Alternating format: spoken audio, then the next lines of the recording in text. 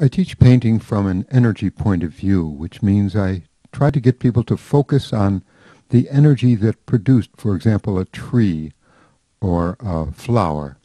And as if that's a dance to a specific kind of energy, if you focus in on that quality of energy and allow that energy to come through you, you invite it to regenerate that tree or flower on canvas in oil or acrylic.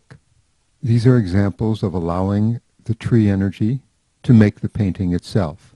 And this is what the great masters figured out, that you yourself are not doing the painting, but the energy that originally created a particular thing is what can recreate that for you on canvas.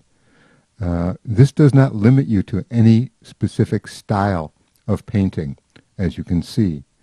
Uh, but by focusing in on this, you realize as a, as a painter that there is nothing you can't paint because the life force is, is reproduced within that particular image and continues to flow out of that painting. I'm Ross Drago, and uh, I've worked in modular art and taught painting for many years, over 30 years, and uh, I teach people to work in this way so that they too can understand what the master painters did know.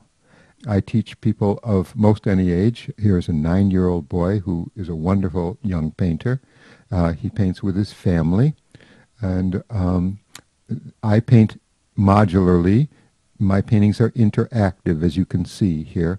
Uh, the young lady is um, recomposing the paintings.